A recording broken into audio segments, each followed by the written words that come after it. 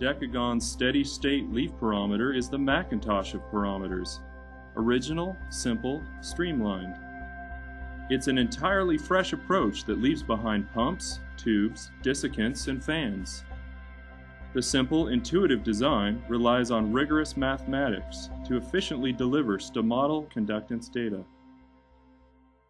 The leaf porometer fits in your hand and your research budget. It offers unsurpassed accuracy for a quarter of the cost. A long-term solution, its sophisticated circuitry enables just four AA batteries to provide power for up to three years of regular use. And since the porometer was designed with real-life, rugged field conditions in mind, you won't be sending it back to us for repairs anytime soon. Custom-built software is included in the package, and everything else you need to gather, store, and analyze data comes with your initial straightforward purchase.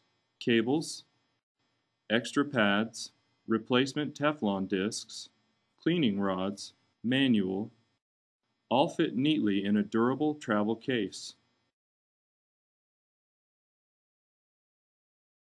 The porometer measures stomatal conductance using a sensor head with a fixed diffusion path to the leaf.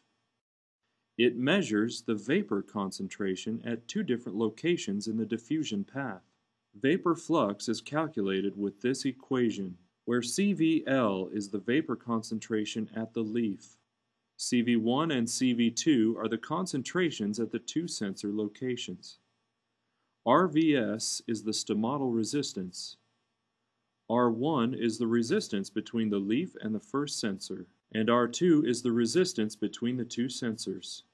If the temperatures of the two sensors are the same, conductance can be replaced with relative humidity, giving this equation. Finally, conductance is simply the reciprocal of resistance. Connect the sensor to the porometer.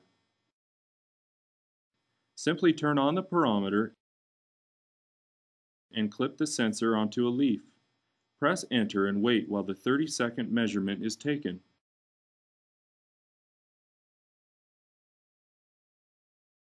The device gives you the option to save, annotate, or discard the data, which if stored is easily viewed. Decagon's handheld steady-state leaf porometer. Learn more about it today.